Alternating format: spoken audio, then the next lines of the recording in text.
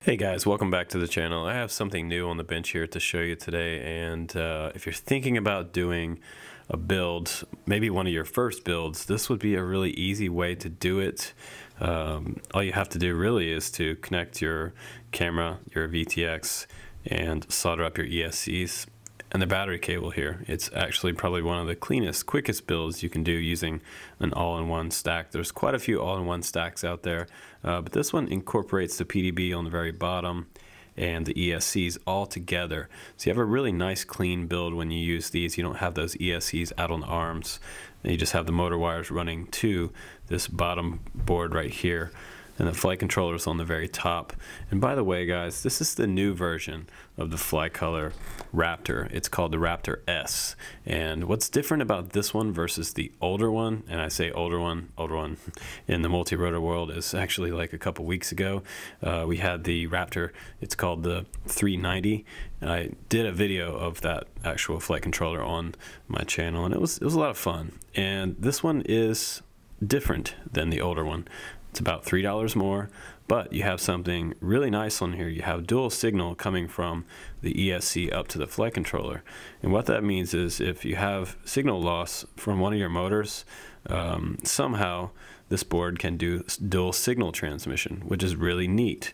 And I haven't really seen that before in some uh, PDB ESC 4-in-1 combos, but this is kind of cool. Uh, also, you have D-Shot on here.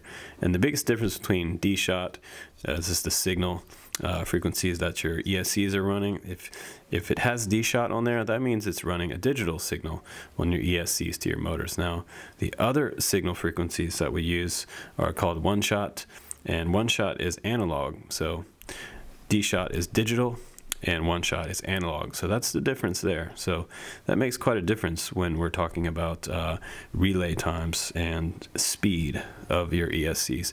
They're a very smooth running motor, uh, almost a really a super quiet running motor. You've probably heard some multi-rotors that are super noisy and then some just sound so smooth. Well, D-Shot helps it sound really smooth. So let's go ahead and break this board down. Um, you don't have to wire any wires coming from this bottom PDB up to the top. It's very clean. It just snaps off like this. There's pins from the PDB on the very bottom here, uh, ESCs coming up. And this is where that dual signal transmission comes from right out of here up to the F3 flight controller. It's not an F4, but you know what? I had a lot of good luck with F3s in 2016, and uh, I'll still fly them in 2017. I'm not, uh, I don't have to go all F4 yet because it's been a reliable board for me. But I'll go ahead and show you these a little closer, and I'll show you how simple these boards really are. So this is that PDB all-in-one for ESC combo with D-Shot, uh, all that good stuff right here. And these are your motor wires that will come off of each motor. You have motor 1, motor 2, motor 3, and motor 4 here.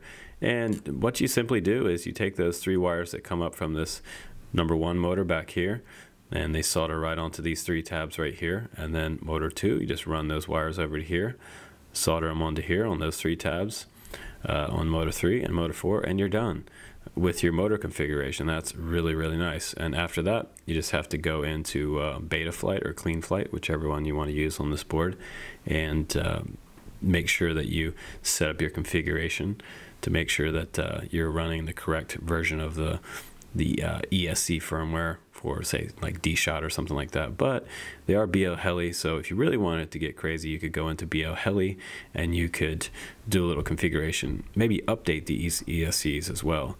So the very back of this board, we have these two tabs right here come off, and this is for your battery. You also have battery wires and all that good stuff in the box that came with it. Um, and you have your four standoffs here, of course. Let's take a look at the very bottom. Very clean pin configuration on the bottom. All the solder joints look really, really nice and clean here.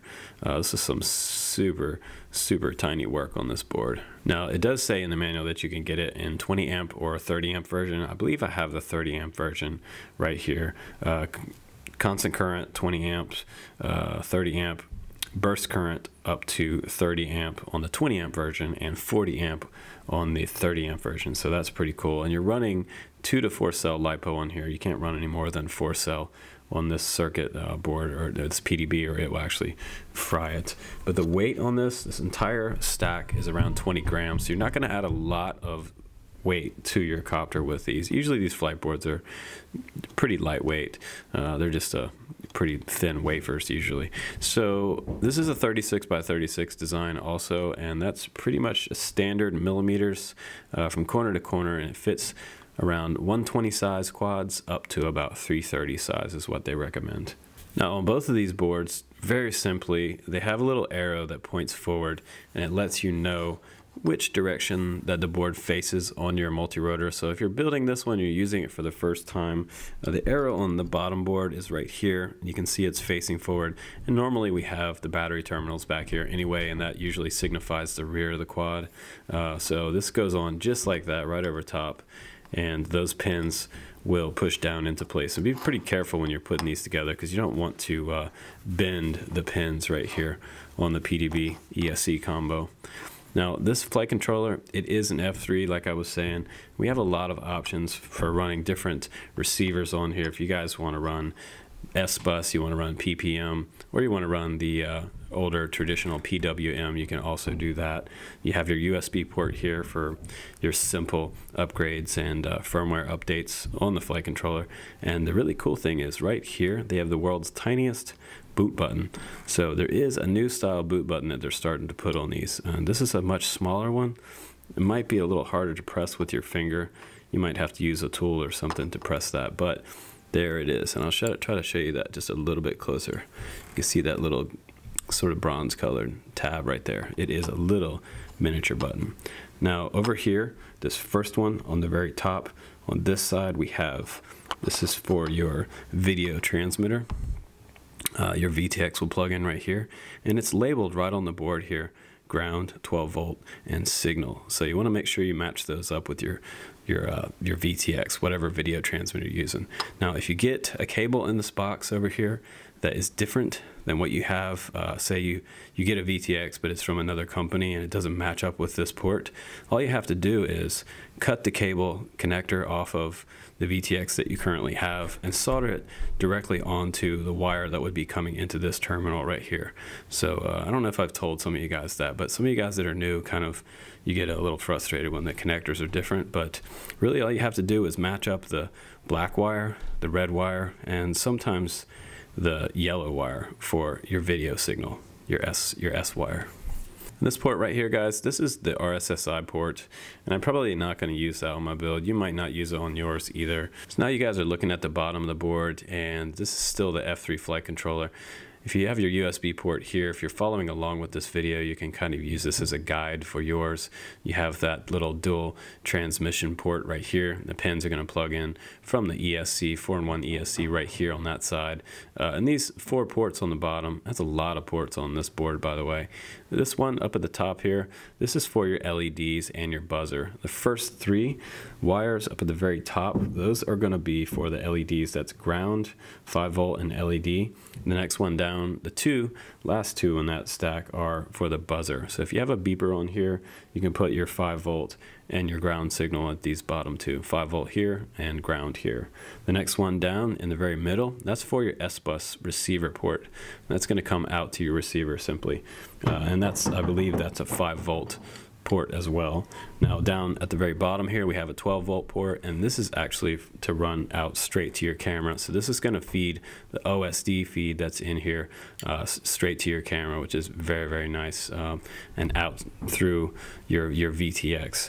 So we will get a nice OSD display on this. You'll have battery telemetry, all that cool stuff, uh, voltage and everything on screen. Now the last board down here, that's an ISP programming OSD debugging um, port for working on your OSD if you decide to choose to uh, play around with your OSD configuration. What if I want to run PPM? Uh, so if you want to run PPM, this RSSI port, this is the very bottom signal right here, the very top part of this pin configuration up here is for your PPM receiver. And at the very top, you have ground, 5 volt, and your channel 1 signal wire going in there. Um, so that's, that's the way you would do that. And then, of course, your VTX port is there. And how do I run it in PWM mode? Well, you can use this same port to run PWM mode on here. Uh, that's the one, that's the signal wire cable harness in here that has every single wire on here. You'll have all these wires coming out the side. Uh, it's kind of an older way of doing things, and I don't really recommend using PWM, but hey, if you do use that, I will respect you at the field, no problem. PWM, PPM, S-Bus, whatever floats your boat. Uh, kind of, an, like I said, kind of an older way and a lot more wires because PPM only has three wires that you have to use here. Coming off that, you can omit the rest of those wires.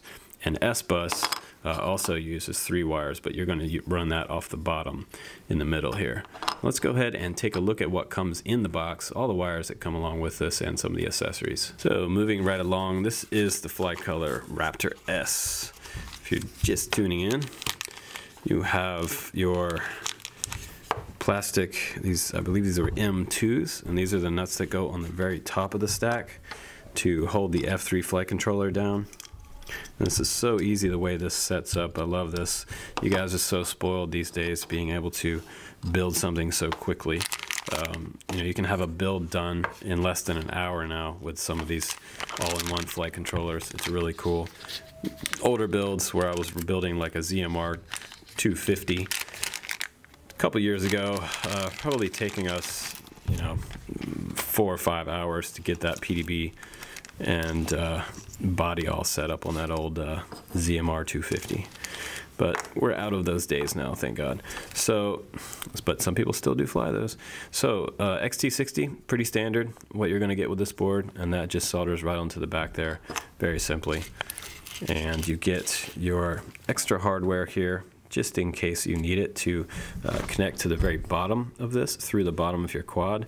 Some people like to use actual um, the uh, aluminum bolts that go through the bottom, or you can use these. These are plastic, and those are just fine. If they break, you can replace them. They're pretty cheap. So you have a couple cables in here that look very similar, and I believe these are for your VTX here, and this one would be if you wanted to run power coming off your VTX and power your uh, straight to your camera and your video signal here. So if you wanted to do kind of an all-in-one wire there, that's pretty cool for that harness. And then you also have some receiver wire in here with a little, looks like a little servo lead here, but that's got all of your uh, signal, 5 volt and ground on this one. And if you don't want to use that, you can snip that off and you can just simply solder it straight to your receiver. And then you have that large cable like I was talking about that has all those extra wires, kind of the old school way of doing things. This is that PWM uh, receiver setup here. It's a little large, takes up a lot more space, uh, just kind of bulky in my opinion. And then we have some extra style connectors for powering, say, your LEDs or uh, anything else you might want to uh, have on this board so some of you guys that get this, don't worry about all these cables because a lot of this doesn't really matter. Um, you're not going to use half of this stuff. Some some people get stuff and they get confused because they think they have to use everything uh, in the box. You don't. They're just including extra stuff. So don't worry about the extra stuff. Now let's go ahead and give you my final opinion on this new product.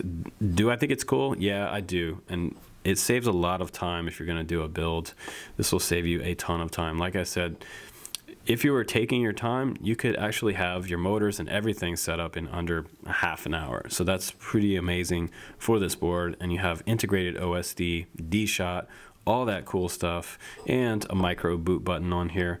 If you decide to reflash this board and put the, the latest and greatest firmware on here from Betaflight, you can do that. That's no problem. So another cool product from these guys over here at Flycolor. So I'm Justin Davis, you guys. Thanks again for watching. I enjoyed showing you this new flight controller as always. I'll see you on the next one. Mm, bye bye.